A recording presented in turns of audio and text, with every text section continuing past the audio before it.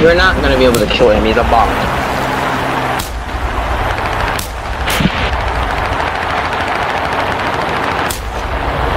I would like you to tell that to all five of them are marked 5. Oh, uh, he's on fire, and he's dead.